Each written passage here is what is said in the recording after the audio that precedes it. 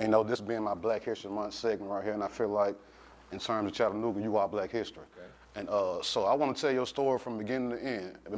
Uh, Before we get you as a businessman, uh, with this being Black History Month, a lot of people my age or younger didn't live through the times when it was hard. You know what I mean? The things that y'all went through or things that y'all saw that we didn't go through.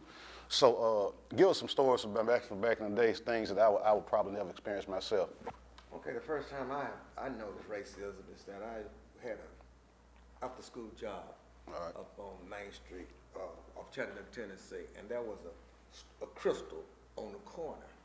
And every evening, uh, every Saturday morning, uh, the owner of the store would tell me to go and get him a cup of coffee.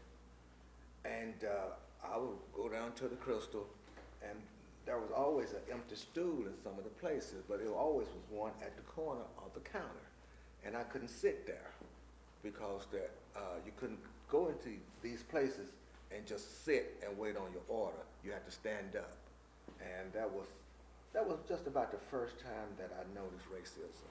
And uh, uh, I knew a lot about Main Street, and when I turned the age of 13 or 14, I was I used to go downtown.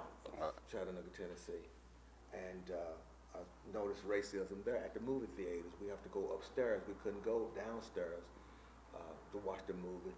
It was separate. You had to go upstairs and uh, watch the movie. Uh, now, we always seen pictures from back in the day with different bathrooms. One said colored here, then, uh, did you, did you, did you experience that type of stuff? Sure? I, I experienced everything that you have heard or witnessed. I have witnessed it. Yes, during that time. All right.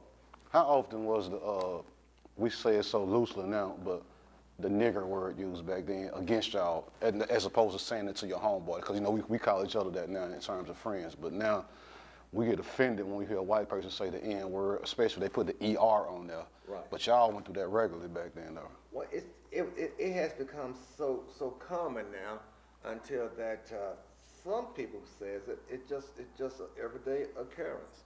Uh, do I get angry with, with those that, that says it? The answer to that question is no. Do I get disheartened that they said it? It all depends on how they said it or, or what was the circumstances Right, on how they said it. Yes. Uh, let's talk about, you know, we see what's going on with the police right now. We've seen a lot of things what police are doing to our people. Can you remember some things of how, how, how y'all were treated back in the days? It, it, it was. Was it the was- same or is- was it worse? Uh, you know, It was, it was, it, it's about the same as, as, as it is today. Okay. It's that there was good, good, good and bad cops. I remember that, uh, uh, I was skating one Christmas. Uh, it could have been Christmas Day or the day after Christmas, and that it was, it was a law that you couldn't skate on the street. Well, most streets in, in Negroes neighborhood wasn't paved, okay? And so I would go up to Howell High School, I didn't live far from it, and just skate from one end to the, to the other.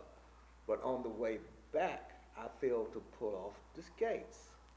Next thing I know was a police car behind me. And uh, he told me that, you know, boy, you know, you, you know the rules, don't you? I told him yes. And I, he said, he asked me where did I live, and I told him. And he took my skates. I cried because cause now I got to explain to my parents what happened to the skates. But when I got home, the skates was in the door.